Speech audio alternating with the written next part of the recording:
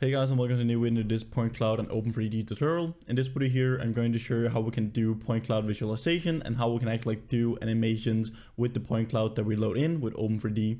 So in the previous videos when we want to actually like display and visualize our point clouds we've just used the function draw uh, draw the geometries where we actually like just displaying the point cloud um, we that we actually like load in. But in this video here we're going to show how we can actually like make an interactive environment or like we can have a non-blocking environment where we can actually like show what the algorithm's doing when we're for example doing ICP where we're trying to do pose estimation or align point clouds and then we're going to do animations uh, with non-blocking visualizations of our point clouds. But first of all, remember to join Discord server. I'll link to it down in the description here. You can come join channel, chats about computer vision, deep learning, AI, and so on. You can also become a member of the channel if you want to support the channel with a small monthly fee. Everything will go to create more and better quality content here on the channel. Also, if you're a member and you need some help in your projects or some guidance, I can also help you out if you're a member of the channel. So thank you guys. So in this video here, we're just going to jump straight into the code so we can actually like see how we can set up this visualization. This will be a rather short video just to show you how we can use it. Uh, we won't go into, into, into details about the uh, ICP and the algorithms that we're going to run and display. I've made videos about ICP, how we can do pose estimation and try to align two different kind of point clouds if they're rotated or like translated away from each other. So make sure to check the Open3D tutorial out. I have all the videos covering all the different kind of topics that we can do uh, on top of point clouds processing, post-processing, pre-processing, and do different kind of operations with point clouds. But here we're just going to go through the example here with the non-blocking visualization from OpenCV or like from Open3D. So first of all here, we're just going to import Open3D module. We have NumPy and then we also have import copy here. So we can actually make a copy and store our images later on if we want to do that. So first of all here, we go down into our main function. We set up uh, our verbosity uh, level here. So this is actually just um, this is just initialization for our uh, utility when we actually want to do this non-blocking visualization with Open3D. Then we're going to take a source and a raw point cloud here. So we're just going to take the raw 3D points. We're going to load them in from the test example point clouds that is provided. We've already used those point clouds here in the previous videos. So we're just going to load in two point clouds. Then we're actually like going to downsample our point cloud with the voxel downsample function down here. So we're going to downsample our uh, point clouds here, both the source and the target point cloud. So the idea here is that we actually like want to have a source point cloud and then we have want to have a target point cloud and then we want to align our source point cloud on top of our target point cloud. We have already like an initial transformation when we're doing ICP. If we don't have an initial transformation, we will need to use global uh, global uh, global registration. I've made videos about all those things. So if you're interested in knowing more about that, definitely check that check those videos out. It's really cool algorithms and we can make some really nice projects with it. But here we're going to voxel downsample our point clouds. Then we're just going to apply here an arbitrary transformation to one of the point clouds. So it will, it will, we will actually like to transform our our source point cloud here. So we have our source point cloud we rotate it or like we translate it and then we want to match that with our target point cloud again so we're aligning the two point clouds it could be for example finding objects in a scene or something like that or just like stitching images together where we create point clouds from those images so here we're transforming our uh, source point cloud then we're going to flip the point clouds here we will actually just do that for visualization so they're not on, on uh, like uh, bottom up so then we're going to go down here and actually like create our visualizer so I'll just zoom in here a bit so you can better see what is going on. So here we're just going to initialize our visualizer object here. We just go inside open3d.visualization.visualizer. So as this visualizer class here where we can actually like apply this or do this non-blocking visualization. So when we're applying like our iterations in our algorithm, we can actually like see what is going on in each iteration when we're applying some algorithm on our point cloud.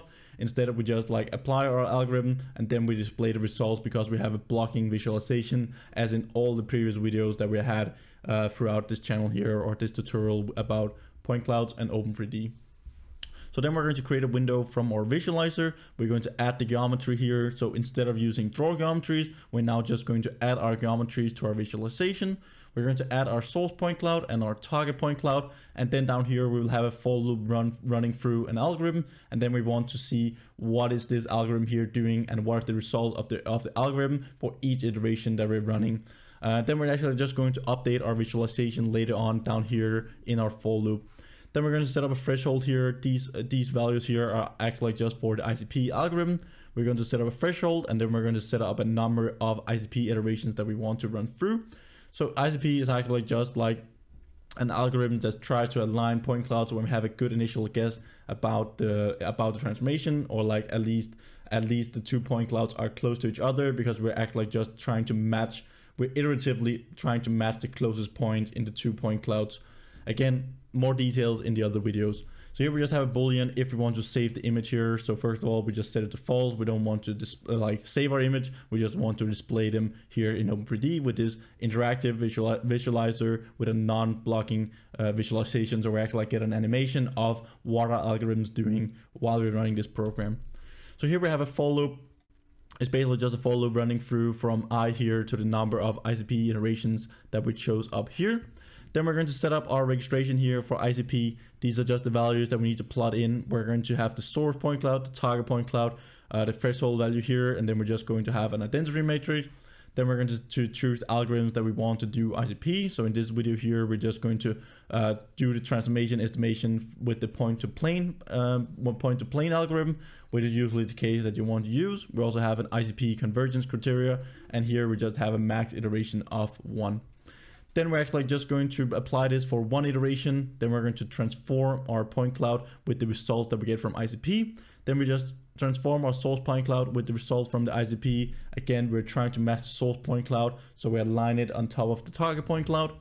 Then we can update our geometry. We're only updating our source because our target will just be static. We want to match the source to the target. Then we can uh, call this poll event and then we can just update our render. So after we've done this, it will actually just update the geometries and it will update the render and then we'll get this nice animation for each of the ICP iterations that we're running through uh, in this algorithm here.